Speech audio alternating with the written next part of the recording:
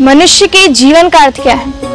मनुष्य के मानव शरीर क्यों प्राप्त हुआ है? इस मानव शरीर का लक्ष्य क्या है? तो देखिए, जीवन जीना और जीवन गुजारना दोनों में बहुत अंतर होता है, क्योंकि पशु पक्षी भी जीवन गुजारते हैं। परंतु मनुष्य को ये जो मानव शरीर प्राप्त हुआ है, इसका कोई ना कोई मुख्य उद्देश्य, कोई ना कोई लक्ष्य अवश्य होता है।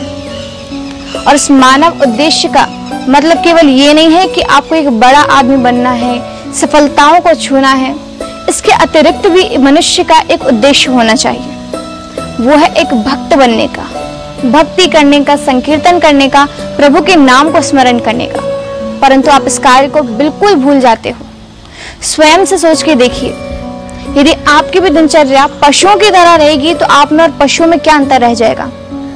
क्योंकि पशु क्या करते हैं? स्नान करते हैं, खाते हैं, पीते हैं, दिनचर्या में यहाँ से वहाँ घूमते हैं और रात में सो जाते हैं। मनुष्य की दिनचर्या भी वर्तमान समय में कुछ ऐसी ही है।